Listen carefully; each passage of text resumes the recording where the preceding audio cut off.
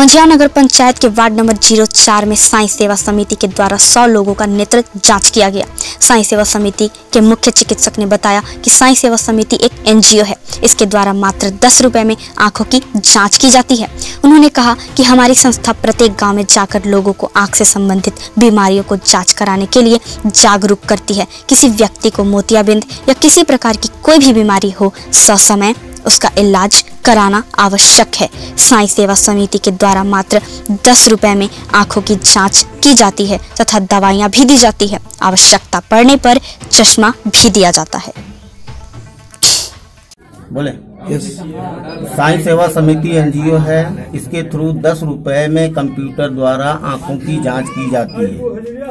ये गाँव में, हर गाँव में जाकर के जागरूक करना होता है कि किसके आँख में मोतियाबिंद या अदरवाइज़ कोई भी बीमारी है। उसको जाँच करना, उनको सही सलाह देना कि मतलब जाकर के ऑपरेशन करा ले या फिर चश्मे से काम चलता है तो चश्मा लगाएँ। यही हम लोगों का काम है।